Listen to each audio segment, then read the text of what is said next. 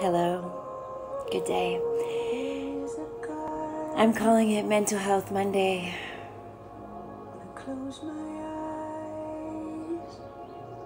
A day where we take care of our health. Where we take a moment to reflect, to relax, to breathe.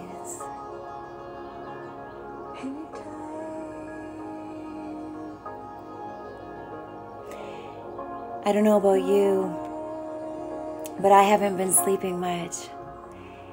And every time I get up and I don't sleep, I'm exhausted again and again. And I, the simplest things, you know, are so hard that I just, I can't even do them. I can't even push myself.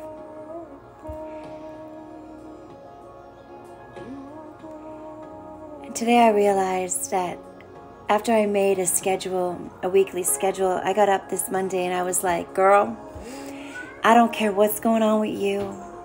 You can do this. Follow your schedule, don't matter how long it takes. Give yourself a break today.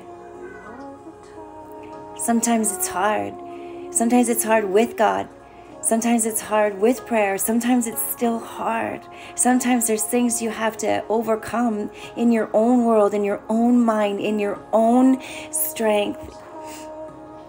Sometimes you have to just just do it anyways.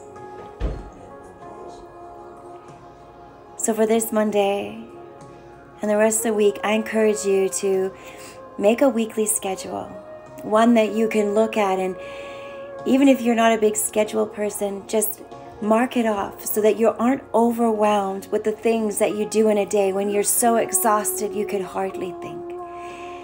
And allow yourself to flow through it. You can make it, and you can do this. You got this. I promise. It's going to get easier. Stay strong. I love you.